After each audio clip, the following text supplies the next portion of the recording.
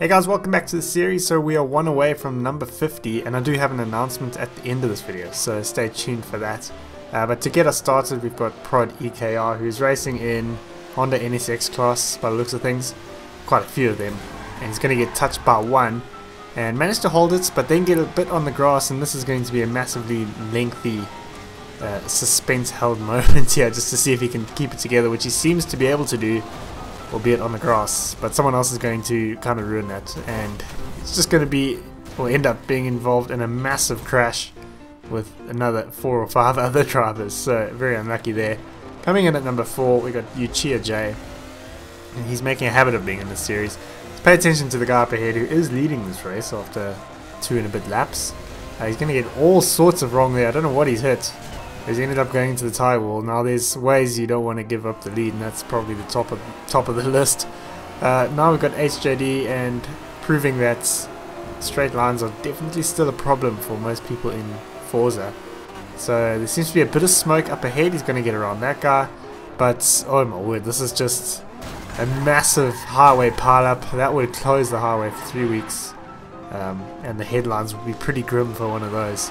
So he's going to manage to keep going, but that was standard for the procedure. So coming in at number two, I, I love this clip. Uh, and watching it back, I was hoping this would be the case when I did. Uh, now watch the guy in 11th place right now, in the blue car, I can't tell what it is. He's going to get a bit of rage and just try and punt this guy into the wall. He's going to flip, and in a bit of unintentional teamwork, he's going to end up crashing the other guy into the blue car, and he's going to end up in the position he was in well, in the pond the cars anyway. So next we have Greeted Dust making a long awaited comeback. Uh, and this is Jeremy Clarkson's worst nightmare, too much power. There is such a thing apparently. So he's cruising around here at 264 miles an hour, going to hit a bit of a, a bump. And he's got no weight to the car, so it's going to end up flipping him a good few times. And that's pretty much a race ruined. It's like one lap, so he's not going to recover from that too well, no matter how much power he's got um, but he is going to keep going nonetheless. Uh, so we do have a few bonus clips this week and then the announcements. Now just watch up ahead. This is another one of the top 10 questions science still can't answer.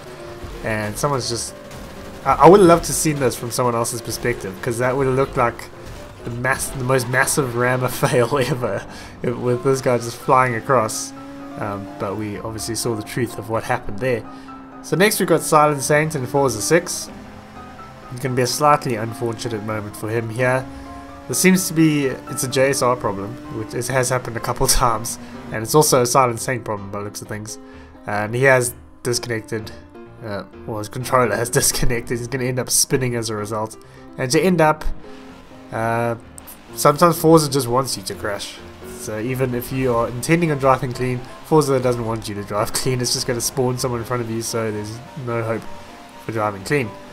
So here comes the announcement. I have got a second channel which I've actually created a while ago. I've just never actually gotten around to doing anything with it. But I'm very keen on Call of Duty Black Ops 4. I'm going to be starting that. So I'm going to link in the description. It would be really cool if we can get to like 100 subscribers before uh, that first video for that game comes out. So yeah, I'm looking to get into it. I've been playing a bit more Call of Duty lately. Uh, but yeah guys, I hope you've enjoyed this video. If you have, go ahead and leave a like. If you're new around here, go ahead and subscribe. And as always, thank you to all of the Patreon supporters. Support, support's been actually very good lately. So uh, yeah, always thank you guys. And I'll see you guys in the next video.